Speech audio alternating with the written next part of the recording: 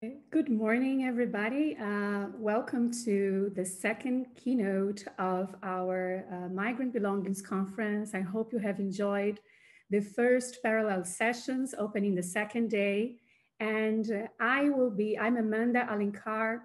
I will be uh, sharing uh, the, the second keynote. Uh, and I would like to first present Larissa Hjorth, uh, who is a distinguished professor she is a socially engaged artist, digital ethnographer, and director of the Design and Creative Practice platform at RMIT University, Melbourne.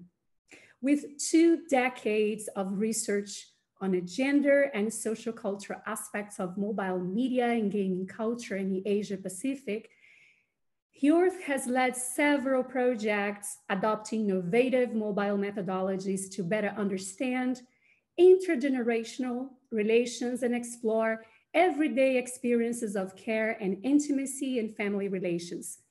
Her research projects also focus on how digitally mediated practices intersect with the building of intergenerational informal care dynamics in different localities, such as Japan, Australia, South Korea, and China. Larissa Hjorth has an impressive track record of publications on these topics. She has published various books, including Mobile Media in the Asia Pacific, Games and Gaming, Screen Ecologies, to name a few. She has also co-edited the Routledge Companion to Digital Ethnography, the Routledge Handbook to New Media in Asia, the Routledge Companion to Mobile Media, and the list goes on. Hjorth is currently the main, investigation, the main investigator of two grants from the Australian Research Council on projects involving research, uh, uh, mobile media practices in Australian, Chinese, and Japanese households, as well as in Australian everyday life. Larissa Hjorth is also a member of leading research centers such as the Australia Center for Excellence for Creative Industries and Innovation, the Young and Well Cooperative Research Center, among others.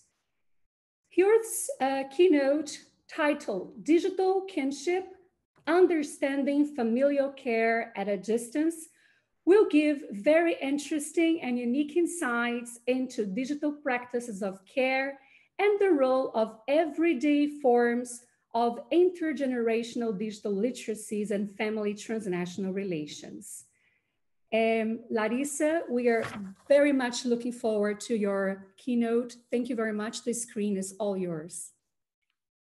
Thank you, Amanda. And um, good morning, everyone. Um, it's evening here, so I'm just giving you a kind of sense of some of the um, different rhythms that are happening at this digital moment. But it's really wonderful to be here, and I feel very honoured to um, be invited. And I thank Sandra and all the people that have been involved in the conference because a conference of this nature takes a whole family, um, a whole village to um, to do. So I'd like to thank all those people that are behind the scenes working very hard. Um, as an Australian, I'd also like to say that I'm um, I'm speaking on unceded lands of the Wurundjeri people, and um, I would like to acknowledge their ancestors, past, present, and emerging. Okay, so um, this this talk is really going to be referencing um, some older projects, but bringing in some newer projects that I have done during the pandemic, which have really amplified um, a lot of the kind of features of digital kinship. Okay. So during the pandemic, the digital recalibrated many aspects of our lives work, health, sociality, to name a few. Many people had to pivot, and I think a lot of people are a bit sick of the word of pivot, but I'm using it here quite a lot. However, some couldn't. During this time, the correlation between the digital, social inclusion, and equality was magnified. This I pose means understanding the relationship between the digital, mundane care at a distance, and kinship has never been more significant. Digital kinship is a complex, nuanced concept that coalesces the increasingly overlapping digital, social, and material worlds. So in this title, of course, I'm riffing off and repurposing the um, Dutch anthropologist and, and, science and technologies uh, scholar Jeanette Pols and her concept of care at a distance. When, while Pols' concept of um, care at a distance was used in the context of telehealth for palliative care at home, we can find multiple forms of mundane care at a distance constantly being operating in and around the home. As the pandemic has highlighted, we do need more robust language to articulate the ways in which the digital is interwoven with these practices of informal care. Informal care not only involves social inclusion, but also invisible forms of supporting well-being that is crucial to us sustain, sustainably aging in place, that is, at home. We need to take seriously the often tacit forms of care in and through data as central in shaping contemporary forms of kinship, family, and intimacy. Oops, let me just. So, in this talk, I'm going to reflect upon a few different projects and some vignettes from um, ethnographic fieldwork to pose some questions and reflections around intergenerational informal care and its relationship to digital media practices, especially when distance is involved. In particular, given the issues raised by the pandemic in terms of older adults, I will draw on quite a few collaborative projects. So, firstly, is the Locating the Mobile project, number one, which was a four year, which ended up being five years, stretched out, um, Australian Research Council linkage with Intel. And it was exploring digital media in families, in households in Tokyo, Melbourne, and Shanghai. The other two projects are two uh, projects that were done specifically during the pandemic to really explore some of the um, issues that were being amplified um, during that time. So Alone Together, which was led by Ruth De Souza, was about understanding the experiences of older and culturally and linguistically diverse community backgrounds during the pandemic. And the third one, um, Shaping Connections, is a, a Australian um, uh, sorry, I just have to look at my um, slide, um, is the um, Australian Communications Consumer Action Network, or ACCAN grant. And we worked with the U3A, um, which is the University of Third Age. And this was led by Bernardo Figueiredo. Um, and this project deployed mixed methods approach, so 100, 1,000 surveys and 40 interviews to investigate older adults' perceptions of risk around digital media as barriers for social inclusion. So, like the second project, Alone Together, um, we um, Ruth then commissioned and collaborated with um, the artist Safdar Ahmed to create some powerful illustrations, um, which I'll show during the talk, um, which were about trying to communicate some of these stories in powerful ways for the general public. And this is something that I'll be kind of talking about in the talk as well, is the role of creative practice to kind of um, further amplify our research findings in ways that can enact social change. With the Shaping Connections projects, um, they uh, have deployed um, digital storytelling, so um, video vignettes, to convey some of those lived experiences for public um, engagement.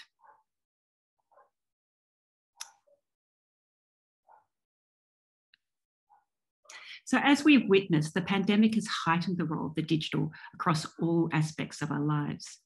And in doing so, as I've said, it's amplified the inequalities and uneven literacies there is so much to be learned from the pandemic in terms of future scenarios for health, work, and society. And at the core of this understanding is taking care seriously as a, as a conceptual framework, as an everyday practice, and as an ethics of being in the world. Understanding the role of the digital for care, especially through intergenerational lens, is crucial. So, in this talk, I'm going to talk about three key concepts of digital kinship. The first one being mundane forms of care at a distance. The second one being as intergenerational care. And the third being as situating careful surveillance. And in particular, I'm going to be focusing and reflecting on older adults' experience and the kind of unevenness of digital literacy and its connection with social inclusion and how we might learn from these existing digital kinship methods.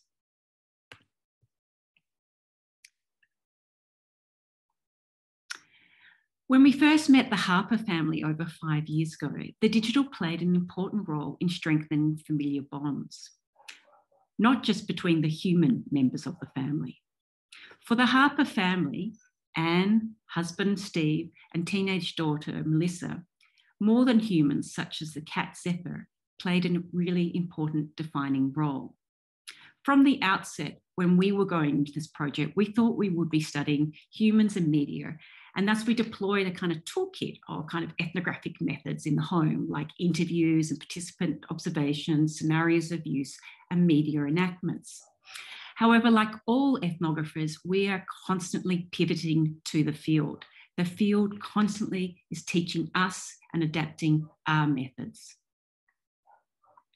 For me, doing ethnography isn't just a method but rather it's a conceptual lens that takes seriously the role of practice and ritual in how we make sense of the world. As many have experienced during the pandemic, when our everyday rituals are disrupted, we can really struggle with meaning and sense making. And so it's through these mundane stories and sharing these, you know, witnessing these mundane stories that we can really gain a sense of purpose and context. In Australia, um, where I'm speaking from, one in three households in Australia prefer animals over humans. And so our kinship model is, needs to be stretched to include that kind of more than human. And in this case, Zephyr. Zephyr's play on the devices became a key source of familiar jokes, play, and connection. And here, Zephyr's playing the, the, the game, game where you level up on the goldfish that you're catching. And Steve and Melissa and grandfather Fred constantly shared stories about Zephyr. Zephyr and her antics became a way for them to keep in constant contact. Granddaughter Melissa sat with her father, grandfather Fred, and taught him some basics on the media devices so that they could share those stories during the day. What could be seen as a kind of constant tethering of a care at distance. As a Croatian migrant, Fred had few family members in Australia apart from Anne, Steve, and Melissa.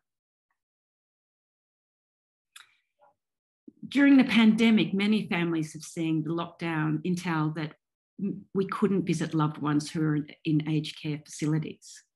And so digital devices have become a crucial way to keep in touch. And so while Fred had, was taught by his um, granddaughter Melissa, which is a, often a very familiar story, this does leave an important question. What happens for older adults who don't have the grandchildren to teach them? And how do they keep socially connected in a world in which digital inclusion equals social inclusion? When Pols explored the role of care at a distance in palliative telecare contexts, over a decade ago, she argued that technology only worked when in unison and not replacing face to face care. Pols argued against digital health pan- panacea of technology as this kind of silver bullet, instead, calling for a nuanced approach in which technology is grappling with the complexity of care. Her work was indeed prescient given the pandemic's recalibration towards telehealth. But care at a distance isn't just about formal health contexts. Rather, as a concept, it encapsulates mundane care as it often plays out in invisible and tacit ways. While the digital pivoting towards Zoomlandia has been discussed a lot during the pandemic, it is important to realise that some of us are not as lucky to pivot. Pivoting, in many cases, is associated with privilege. Indeed, fieldwork by the ACCAN Shaping um, Connections Group with the University of Third Age found a whole cohort of older adults who were unable to pivot to the digital and thus were socially excluded. The pandemic has highlighted a well known aptitude digital literacy directly aligns with social inclusion. And yet, even for those that could connect digitally, this sometimes actually amplified loneliness through a lack of physical connection. Some have been researching what has been called a kind of skin hunger phenomena, in which the unevenness of its effects across cultural and social dimensions are palpable. Moreover, grief, or what David Kessler has called un, around social, around uncertain futures, um, from that to the imposed restrictions around funeral gatherings, has seen the limits of the digital in addressing cultural and material rituals around grieving. Zoomlandia cannot replace the intimacy of physical proximity.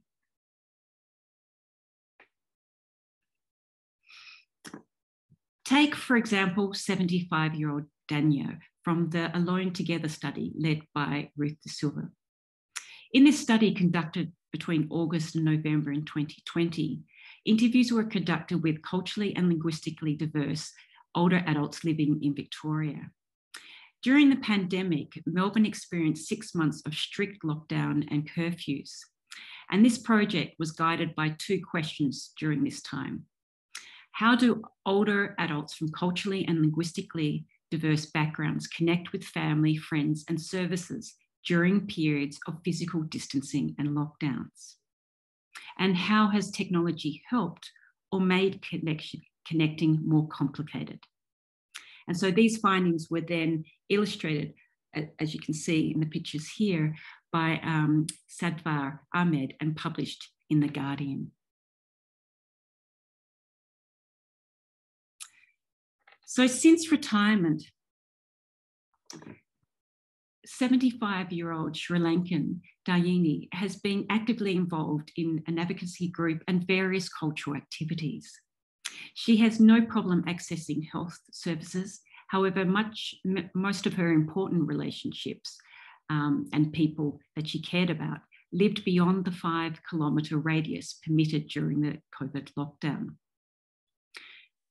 Moreover, Danya's um, brother died in July, and it was devastating to only have 10 people at the funeral and to grieve at home without loved ones. As she asked, how do you mourn 70 years of a relationship by myself? Before the pandemic, Danyangi would see her family often and cook for them. Despite being apt with email and, so, and Zoom, the digital has been a poor substitute for her close knit family. Her husband has offered to help her with the technology, but she would prefer to ask the grandchildren. As she notes, oh, it's it is seriously miserable because it's all on the phone and I'm a people's person. I want to have them visit. I want to hold them. I want to hug them. I can't manage these phone conversations. They're terribly boring. My grandchildren call me on various things and they appear in the camera and they have different faces. So she's referring to, like, you know, the kind of filters that they've come up with. But I can't cope with that because I don't know how to respond to those things. So I'm not a technologically savvy person. And they say, come into Zoom conversations, come on on Zoom. Let's have a Zoom conversation. No, I'm just not happy at all.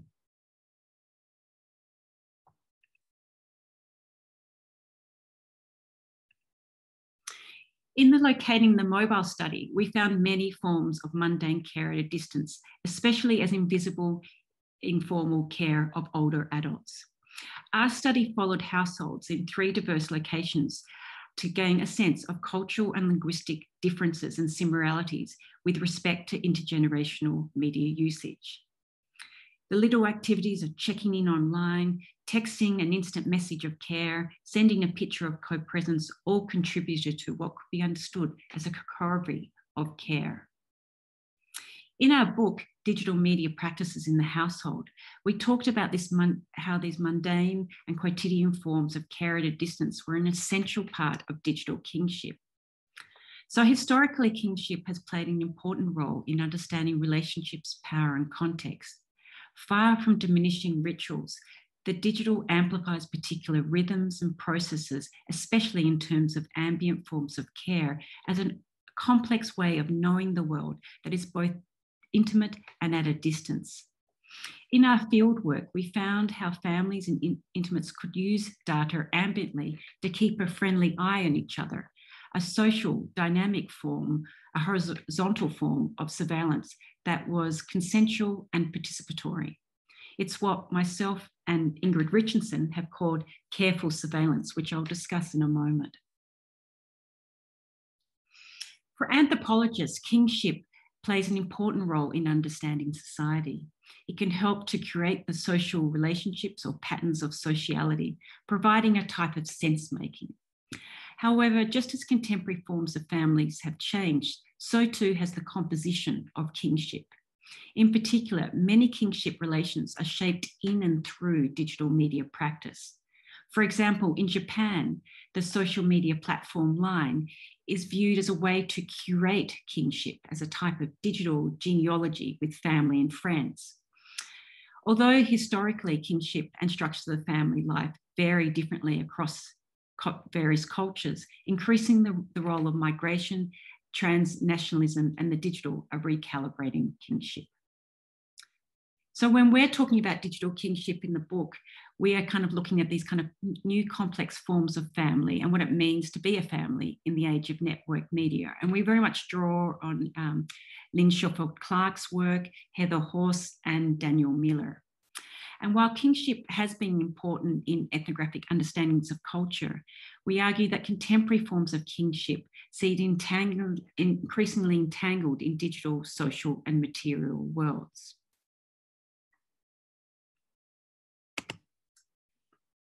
For sociologist Loretta Baldassar, the exchange of emotional and moral support between transnational families staying in touch via digital media enacts a type of kinning so drawing on Delado's um, notion of kin work, um, which recognizes the multiple forms invested in maintaining familial relationships.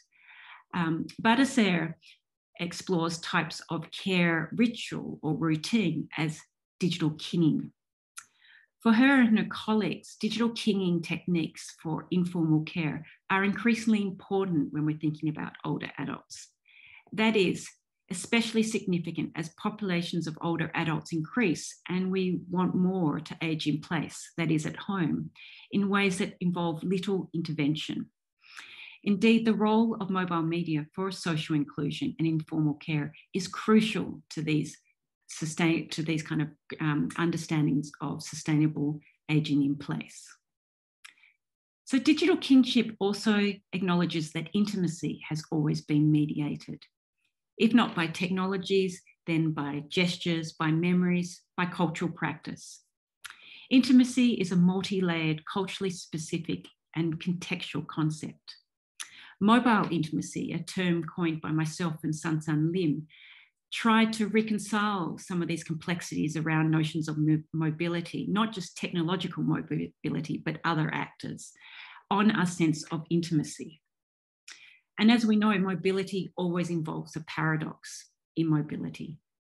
So, spearheaded by the important work of Berlant in terms of intimate publics, we argued that the role of mobile media further amplified inner subjectivities while conforming to existing social cultural rituals and practices. As one of the most intimate devices in everyday life and often viewed as an extension of our bodies and self, Mobile phones are vehicles for haunting across multiple forms of material, symbolic, and immaterial dimensions. They are vessels for and of our intimacies, our emotions, shaping and being shaped by the affective bonds.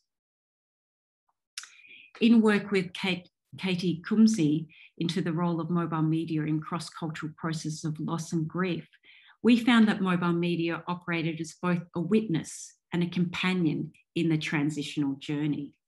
They provide us a space for those continuing bonds to be enacted through the process of grief.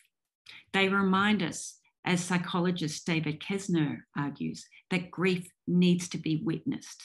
This is a type of effective witnessing. The second concept is digital concept, uh, digital kinship as intergenerational care. In Western Melbourne, we find we find Chinese Singaporean Nancy, who lives with her husband. Her 30 year old daughter, Sophie, lives across the city up in the north. Nancy migrated to Australia 35 years ago. Much of her family still live in Singapore.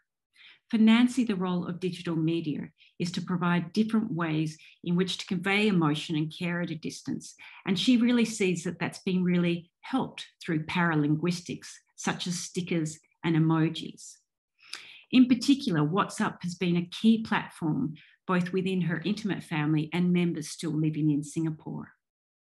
While WhatsApp is used for quick exchanges, they also use Skype and more recently things like Zoom in direct conversations and catch ups. For Nancy and Sophie, Facebook um, Instant Messenger has been used as an easy way to keep in contact during the day. Frequent emojis give a sense of play, fun, and emotion. And while it was Sophie that taught Nancy new technological things such as stickers, um, they use them in quite different ways. Sophie, when we were interviewing, laughed fondly at her mum's overuse of stickers as a sign of her generation.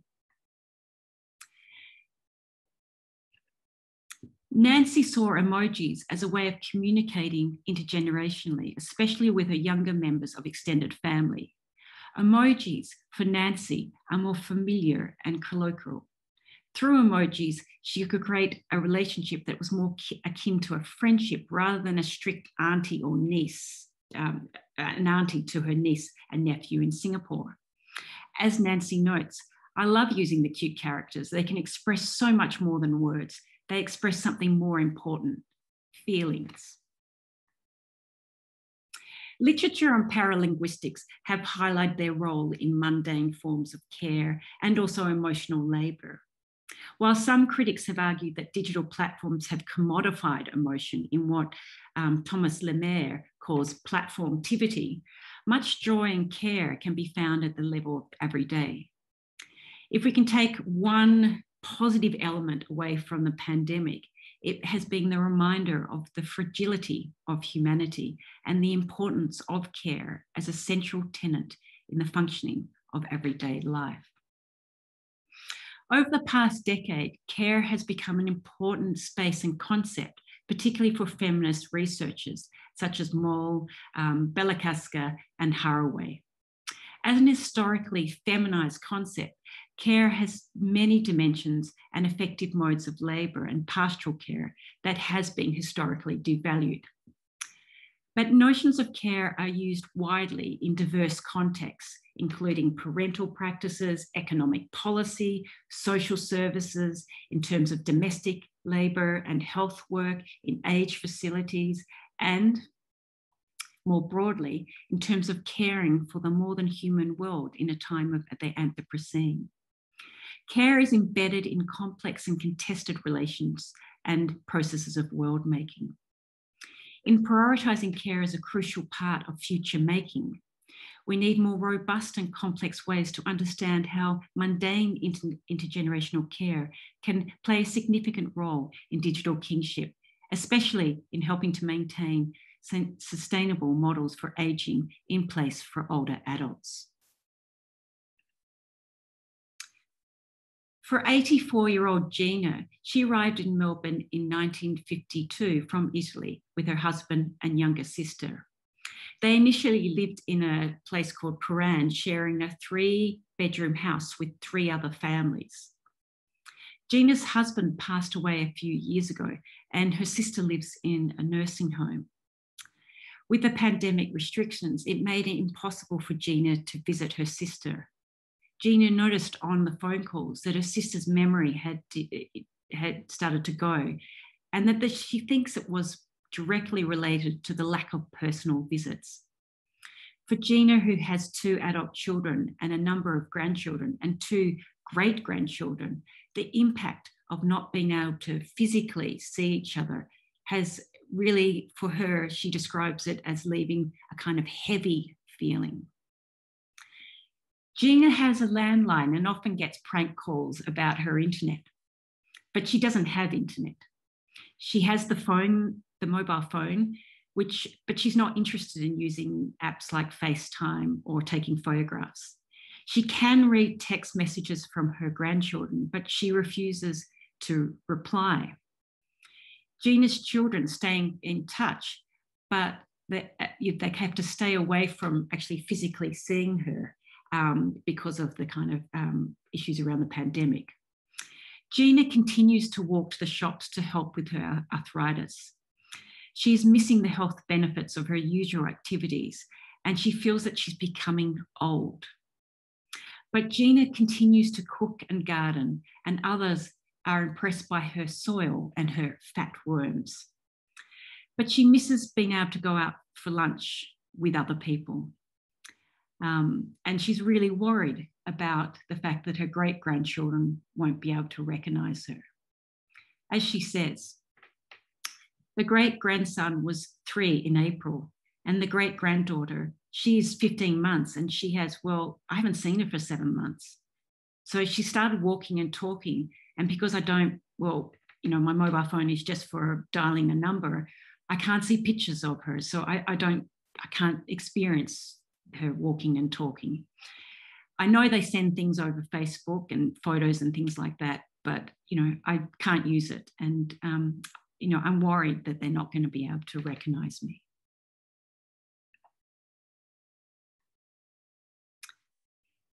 Care also involves a complexity of patience and watching, what scholars such as um, Alice um, Marwick have called social surveillance.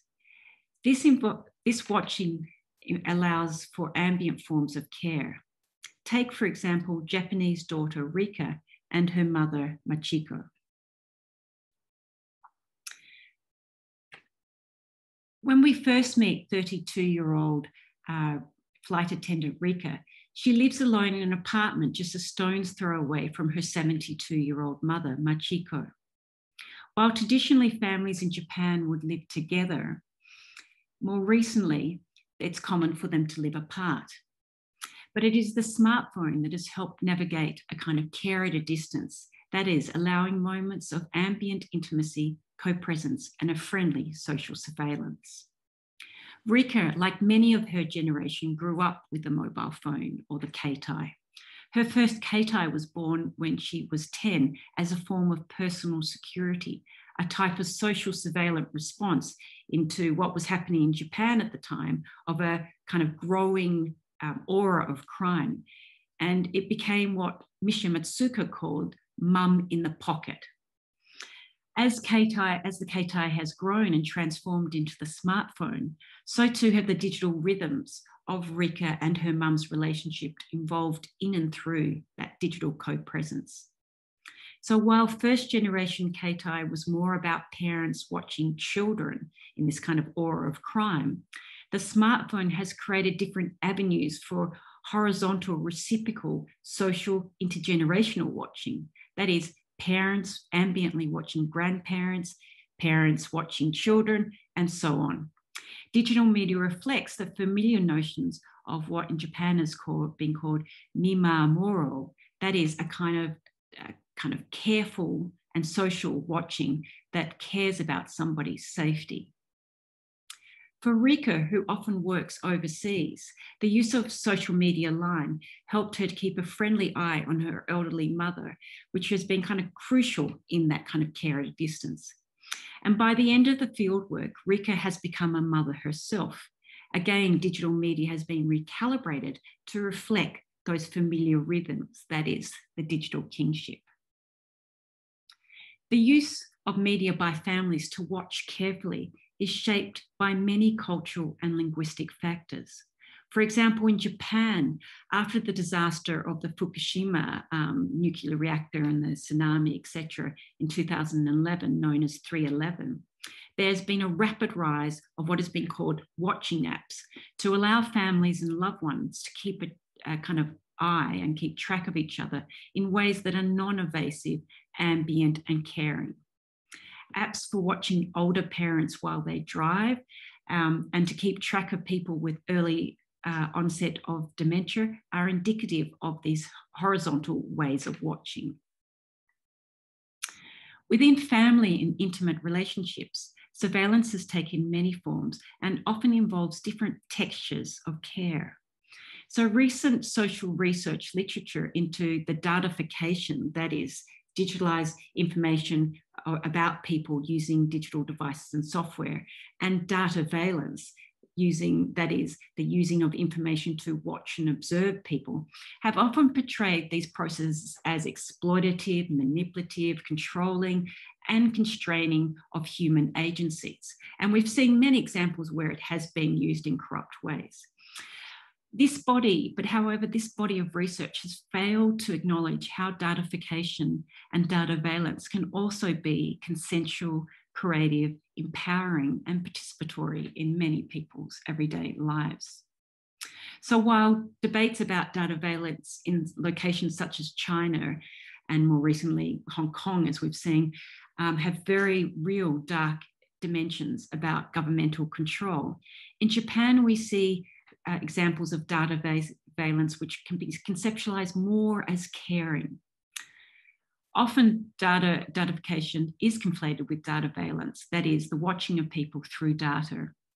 These processes um, can be seen, um, and, and as I've looked at with um, in collaboration with Deborah Lupton, who's done a lot of work in this area, datification and dataveillance are can be used in many ways which are creative and participatory. So rather than just thinking about them to exploit, I would say that maybe we can also think about them to care.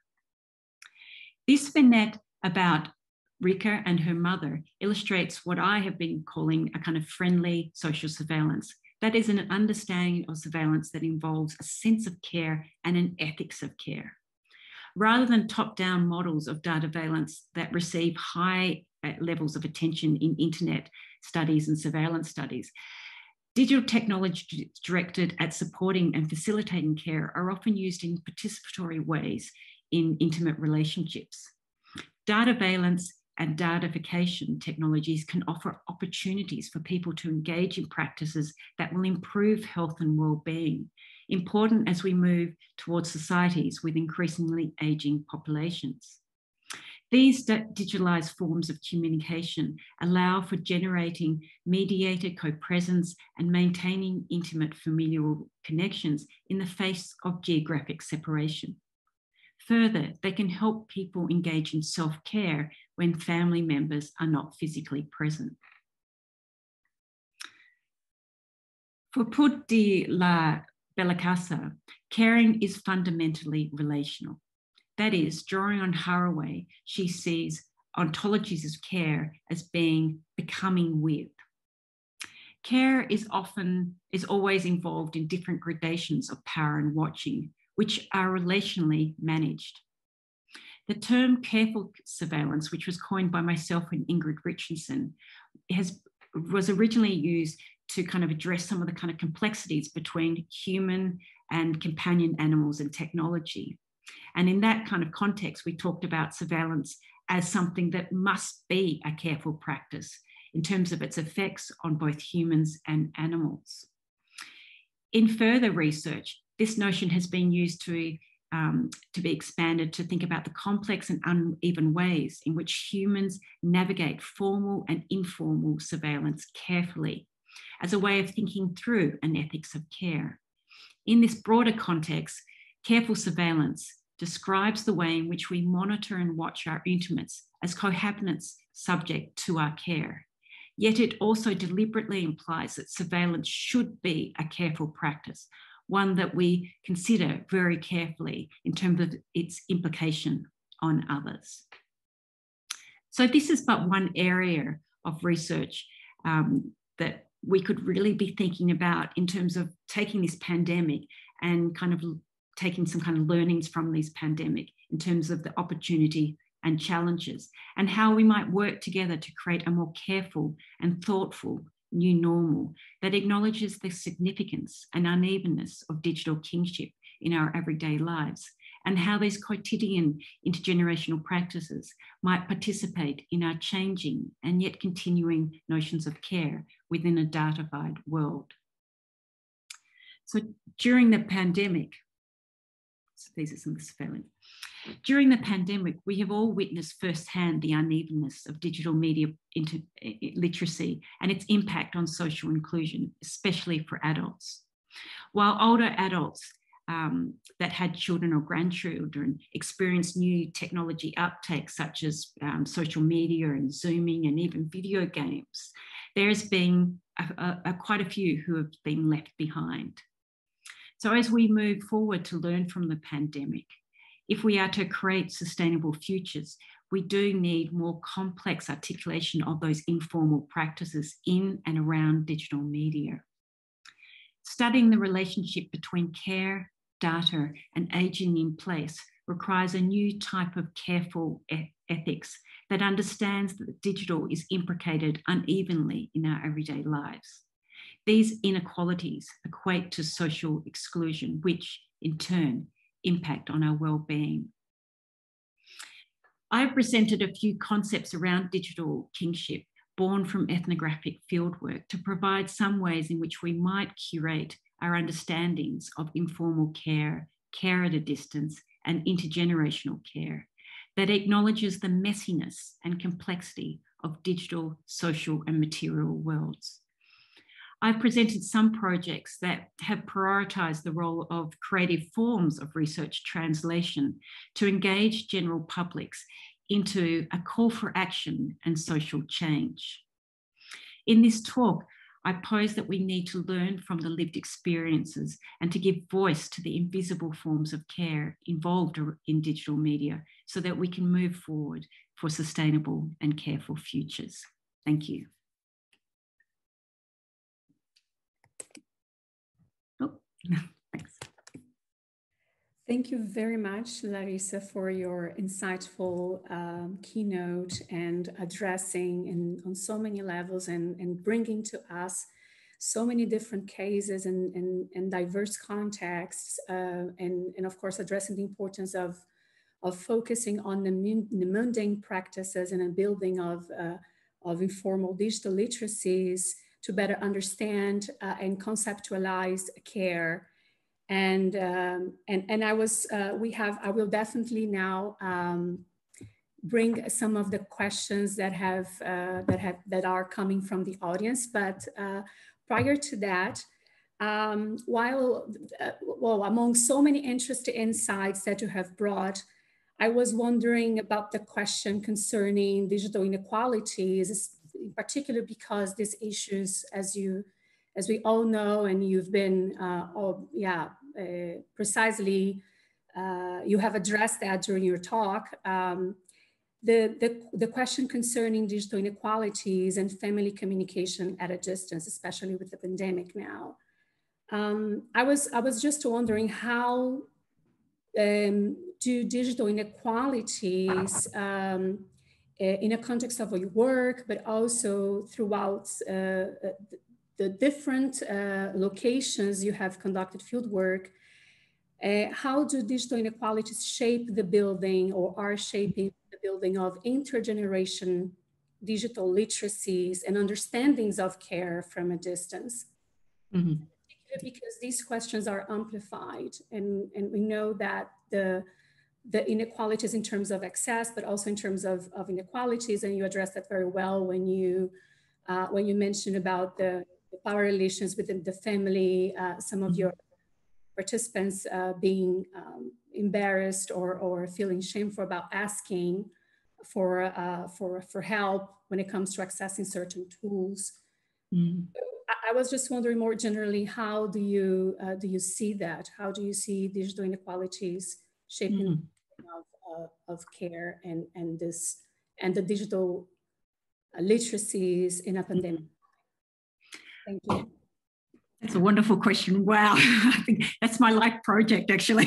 just, um, yeah, I mean, it's been interesting. Um, I, have done some, I suppose, I think a, a, lot of people have done some rethinking of what their academic practice means during a pandemic and the, what you can bring, what tools that can bring to help people. Um, and I think one of the things so previously in my research, it has, um, I suppose, I have emphasized more the um, intergenerational learnings and literacies and, and more of the kind of positive dimensions. Um, and but during the pandemic, it really became very clear the, um, as I said, the, the inequalities being amplified. And um, it has made me more interested as a researcher to think about not just doing the ethnography, but then what happens to the ethnography afterwards and how we can think about research in terms of impact. So I think that one of the things that um, I was showing with the two projects alone together and the ACCAN Shaping Technology, the Shaping Connections project, was that they have the ethnographic component, but then they also have the um, how do we communicate this to the public to actually enact social change. And I think this is really a really important part of it doesn't just stop at the ethnography. The ethnography tells you the understanding, and then from the understanding, there there's a really important um, as a researcher, I think there's an imperative to to act on this and to to try and um, change things. So I mean, a couple of years ago, I, if you'd said, you know, policy, I was like, oh, policy, you know, that's that's for the policy heads. But more and more, um, particularly around digital literacy, I am listening more and more to my colleagues who do a lot of work around um, digital literacy to kind of think about, um, you know, changing the politicians and and kind of changing the way that. Um, you know we we get telecommunication regulation etc so i'm thinking about a colleague of mine in canada um, Kim Sawchuk, who's done some amazing work where she's worked with older adults, um, finding out some of the barriers to uptake of technology. And a lot of them are psychological barriers, not just physical. Sometimes they can be physical, like arthritis or whatever, but um, often they are psychological. And it's those perceptions that um, we really need to be thinking about what are those risk perceptions and how can we work together to help them to overcome that. And she's actually um, then went along to the telecommunication company and actually got um, things changed so that they would be thinking about the older adults and what were some of the concerns there. And I think that's the thing that as the digital has become kind of all pervasive, it has been so uneven and now it's um, you know our duty of care to actually think about how we highlight these inequalities and then act on it to enact change i hope that answered it or maybe that went off on a different pathway sorry I have uh, some, absolutely, thank you very much. I have some very interesting questions from the audience. Uh, the first question comes from uh, Raelene Wilding. Uh, she is your colleague uh, from Melbourne. Raelene from La Trobe University. Oh, okay, yeah, yeah. Uh, she okay. says, I was hoping you could say a bit more about digital kinship as going beyond the human. In our mm. research, we have been struck by the intimate relations that people develop with their devices and the platforms they use for yeah. digital kinning. Have you noticed any evidence of digital devices and platforms not just being used to digitally connect with kin, but also becoming perceived in some ways as kin, as mem- for instance, as members of uh, the kinship network?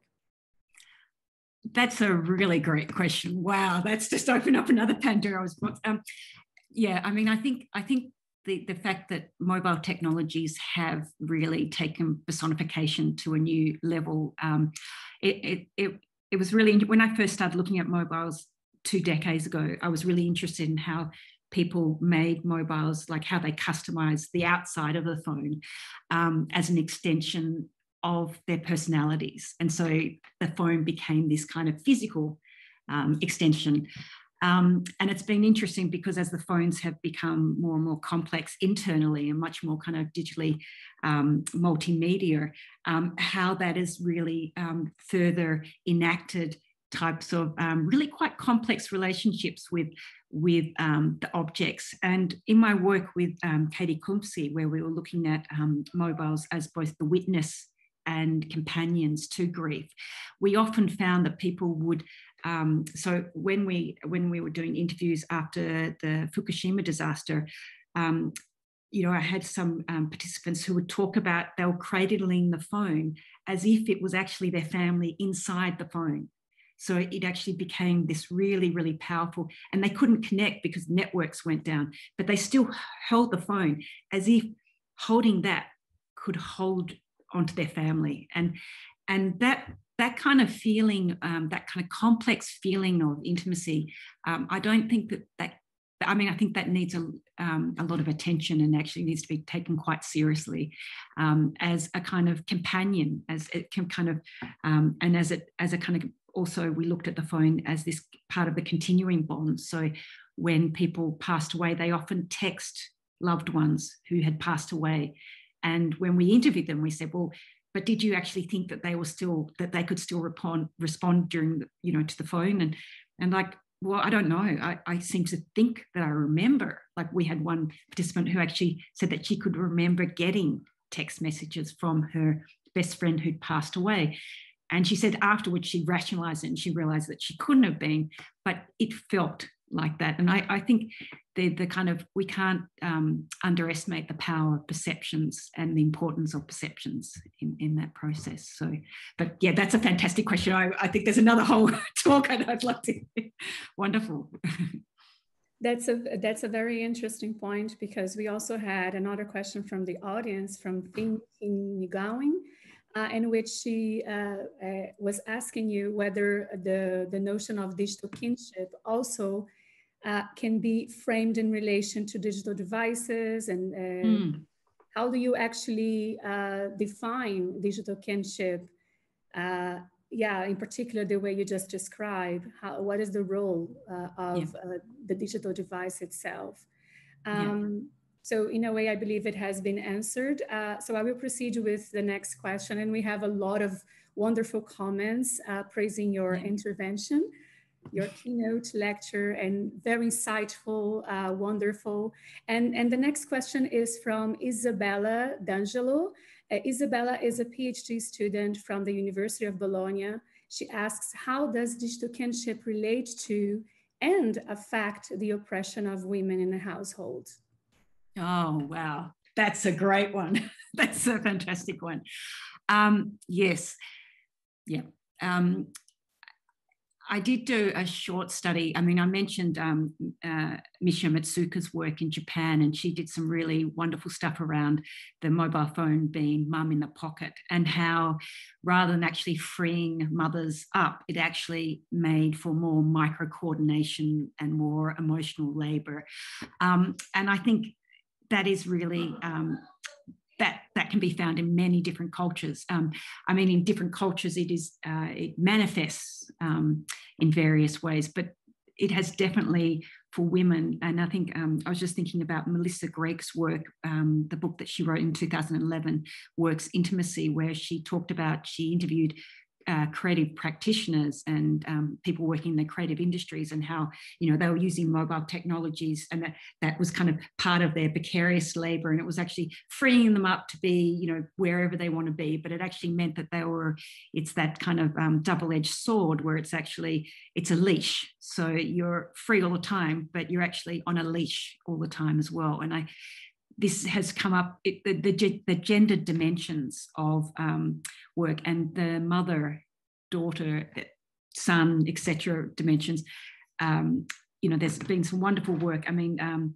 the parent app book by um, lynn schofield clark was a wonderful example of talking about some of those kind of complexities around emotional labor and um, yep i think it just gets more and more. So thank you for that question. That's a that's a wonderful question and and and very important. Yeah Larissa, continuing um, in this line of the paradoxical uh, relations mm. and also some, addressing some of the paradoxes that you uh, uh, brilliantly walked us through during your talk.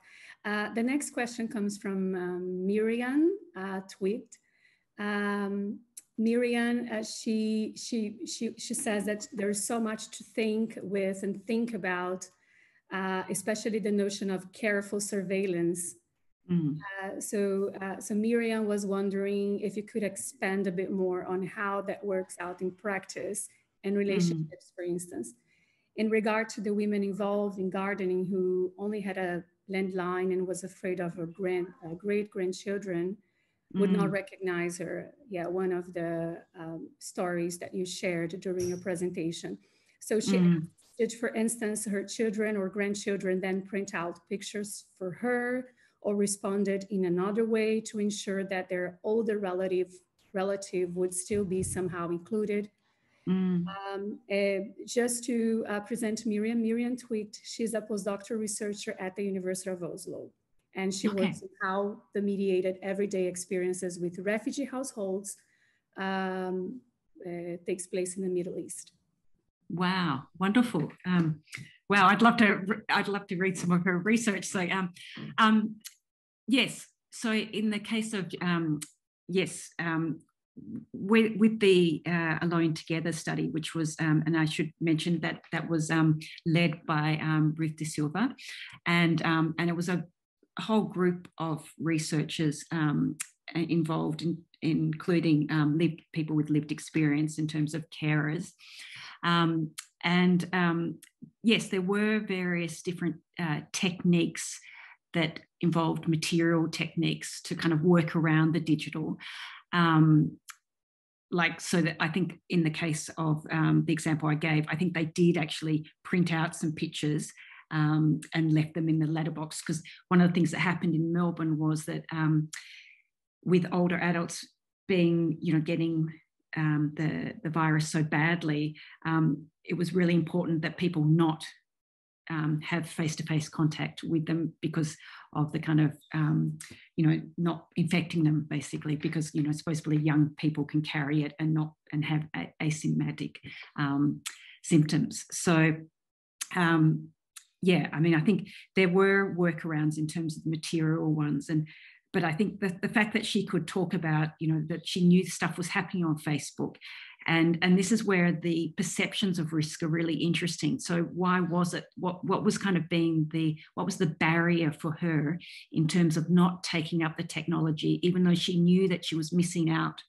on some of that contact? And i think that's really interesting that kind of um, the difference between the perceptions and the practice and why sometimes there's a kind of disconnect there um, in terms of the uh, careful surveillance um, I, when Ingrid and I were coining the term, we were trying to um, embody the paradox that we thought when we think about like the kind of informal surveillance that was happening in um, the field work. And um, it was really about trying to bring, you know, like we really wanted to bring care to surveillance because we think that often surveillance um, in the kind of informal examples that we were finding um, you know, care was a really big motivator. Care was really about the, the practices that were, um, it was the motivation, it was the practices, but it was also the kind of ethics that was happening there. And so we were trying to um, put what seems like a kind of, uh, I suppose, an oxymoronic kind of um, concept,